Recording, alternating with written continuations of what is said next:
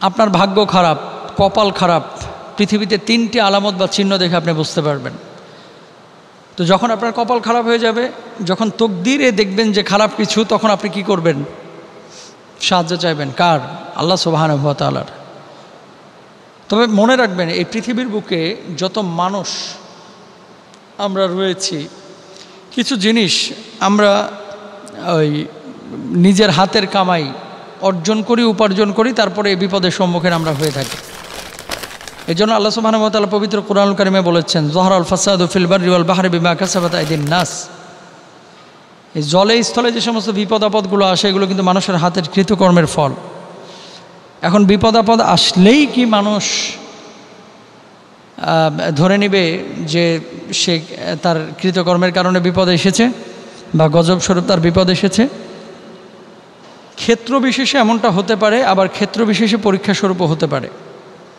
যেহেতু আল্লাহ সুবাহানুভাতালারও বলেছেন, কখনো কখনো আমি তোমাদেরকে এমন জিনিস দিয়ে পরীক্ষা করি বিষয় ইমিনাল খৌফ, যার ভিতরে থাকবে ভয় অলজু ক্ষুধার যন্ত্রণা, অনাক্সিম মিনাল আমল ফসল, ফলাদি, সম্পদ, সন্ততি, বিনষ্টকরণ ওল আংফুসি ওসামারদ হ্যাঁ এই যে জীবনের বিনাশ, ফসলের বিনাশ অবশ্যের সবেরিন সর্বাবস্থায় যারা ধৈর্য ধারণ করে তাদেরকে আপনি সুসংবাদ দিয়ে দিন। আল্লাহ রসুল সাল্লাহ আলী আসাল্লামকে বলে দিয়েছেন, আল্লাহ তালা এখন কথা হচ্ছে, পৃথিবীর বুকে কিছু মানুষ আছে যাদের ভাগ্য ভালো, কিছু মানুষ রয়েছে যাদের ভাগ্য খারাপ।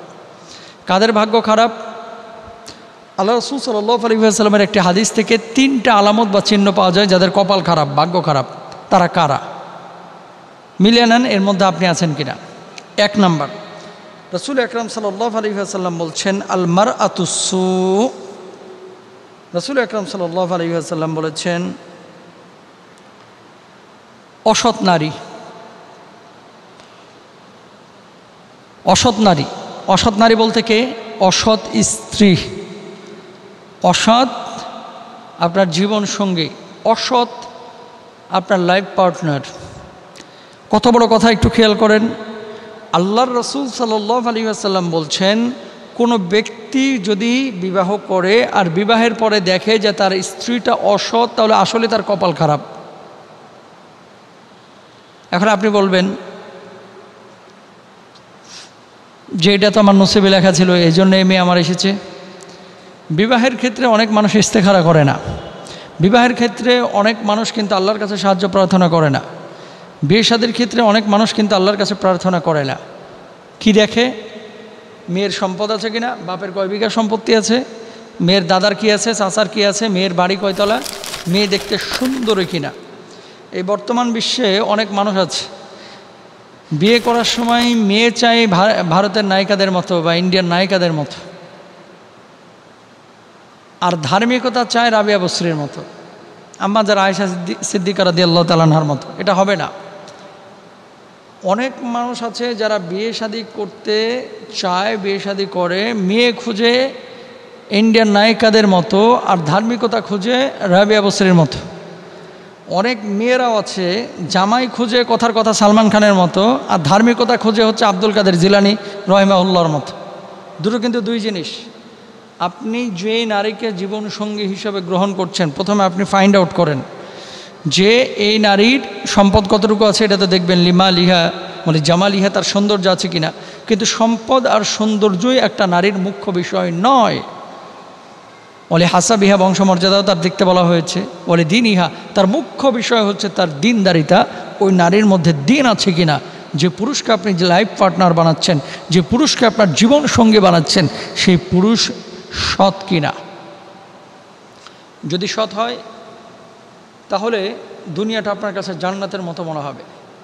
স্বামী এবং স্ত্রী, দুইজনের একজন যদি চরম লেভেলের পাপিষ্ঠ হয়, তাহলে আপনার দুনিয়াটা বরবাদ হয়ে যাবে। আপনি বলবেন, কীভাবে? আপনি কি জানেন যে যে মেয়েদের স্বামীরা পরক্রিয়া করে, অন্য নারীর প্রতি আসক্তি যাদের রয়েছে এই পরিবারগুলো এক একটা জাহার নামের টুকরা। যে পরিবারে একজন স্ত্রী অন্য স্বামীর অন্যের স্বামীর প্রতি অথবা অন্যের ছেলের প্রতি অথবা অন্য পুরুষের প্রতি, পরপুরুষের প্রতি আসক্ত সেই স্বামীর কাছে এই পৃথিবীটা বা পরিবারটা জাহান নামের টুকরার মতো মনে হয়।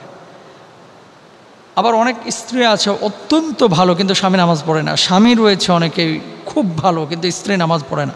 এরকম কিন্তু অনেক ঘটনা ঘটে। তো আল্লাহ রসুল সাল্লাহ আলহিহাসাল্লাম বলেছেন, কারও কপাল খারাপ বা ভাগ্য খারাপ হ্যাঁ এটা বোঝা যাবে বা বোঝার জন্য তিনটা আলামত রয়েছে। এক নম্বরে হচ্ছে, যদি অসৎ নারী তার কপালে জুটে যায়, অর্থাৎ সেই নারী সঙ্গে তার বিয়ে হয়েছে, যে নারী সৎ না, তাহলে তার কপাল ভালো না। কি করতে হবে তখন? হয় আলাদা হতে হবে, না হলে কারেকশন করতে হবে, আল্লাহর কাছে দোয়া করতে হবে, অভিভাবক নিয়ে বসতে হবে। এক নম্বর। দুই নম্বর আল্লাহ রসুল সাল্লাহ আলহিহাসাল্লাম বলেছেন, অল মাসকানসু খারাপ বাসস্থান যা রয়েছে। এ বাংলাদেশে, উপমহাদেশে অনেকে আমরা যৌথ ফ্যামিলির নামে এমন কিছু পরিবার গড়ে তুলেছি, যেখানে পদ্মারি মাতবরি একজন করে এবং পর্দার কোনো তোয়াক্কা করা হয় না। গায়ে মাহারাম কোনো পুরুষের সঙ্গে কোনো নারীর যদি দেখা করতে না যায় অথবা মেহমানদারিতে তাদের সামনে যদি কোনো কিছু পেশ না করা হয় বা বোরকা পরে যদি হিজাব মেনটেন করে তাদের সামনে উপস্থাপন করা হয়, তাহলে অনেক মানুষ রয়েছে বাংলাদেশে, অনেক পরিবারে, তাদেরকে ভালোভাবে দেখে না। দেখেন, হিজাব করে পর্দা করে আপনি যে কোনো কাজ করতে পারেন, আপনি মেহমানদারি করান, আপনি আপ্যায়ন করান, কোনো সমস্যা নাই। কিন্তু উন্মুক্তভাবে আপনি আপনার দেবরের সামনে আপনার স্বামীর ভাইয়ের সামনে অথবা স্বামীর কাজিনের সামনে আপনি যেতে পারবেন না। তো এমন বাসস্থান যেখানে পর্দার কোনো সিস্টেম নাই, এমন বাসস্থান যেখানে নারীদের গোসলের কোনো সিস্টেম নাই, এমন বাসস্থান যেখানে প্রপার ওয়েতে আপনি বসবাস করতে পারছেন না অথবা আপনি আপনার জীবন ধারণ করতে পারছেন না, যে বাসস্থানটা সুন্দর না, ভালো না, নিরাপত্তা নেই, এরকম বাসস্থান যার খারাপ রয়েছে, সে মানুষটির কপাল ভালো না। সে মানুষটি কষ্টের মধ্যে আছে, দুঃখের মধ্যে আছে। সে মানুষটির ভাগ্য খারাপ। তাকে কি করতে হবে? আল্লাহর কাছে দোয়া করতে হবে। চেষ্টা চালাতে হবে ভালো বাসস্থানের জন্য। যদি চেষ্টা করেন, আল্লাহ তালা নিশ্চয়ই ব্যবস্থা করবেন ইনশা আল্লাহ তালা তারপর আসেন। তিন নাম্বার, কপাল খারাপ বোঝার আরেকটি উপায় বা আলামত আল্লাহ রসুল সাল্লাহ আলী সাল্লাম বলেছেন, ওয়াল মার্কাবুসু অর্থাৎ অনুপযোগী বাহন। এটা মনে হয় আমাদের বাংলাদেশের অনেক মানুষেরই রয়েছে। অর্থাৎ বাহনের ক্ষেত্রে সবাই তো স্বতন্ত্র বাহন কেনার সামর্থ্য আমাদের নেই।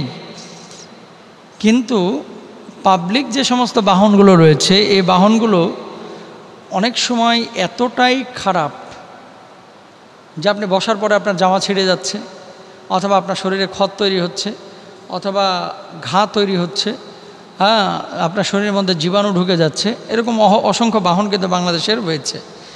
তো এগুলো কিন্তু খারাপ লক্ষণ, এগুলো ভালো লক্ষণ না। চেষ্টা করতে হবে এবং আল্লাহর কাছে প্রার্থনা করতে হবে। মনে রাখবেন, কখনোই আল্লাহ তালা আপনাকে, আপনার ভাগ্যকে ওই বাড়িতে নেমে এসে পরিবর্তন করে দিয়ে যাবে না। নাউজবিল্লাহ জালিক বরং আপনাকে দোয়া করতে হবে, চেষ্টা করতে হবে। তারপর আল্লাহ সুবাহানুয়া তালা আপনার ভাগ্যের পরিবর্তন করবেন ইনশা আল্লাহ তালা সুতরাং আমরা চেষ্টা করব ভালো কিছু পাওয়ার, ভালো কিছু অর্জন করার। সেজন্য আল্লাহর সাহায্য আমাদের প্রয়োজন। আল্লাহর সাহায্য ছাড়া ভালো এবং মন্দ কোনো কিছু আমরা করতে পারব না। আল্লাহ তালা আমাদের সবাইকে ভালো রাখুন, সুস্থ রাখুন, নিরাপদে রাখুন। সবার জন্য দোয়া এবং ভালোবাসা।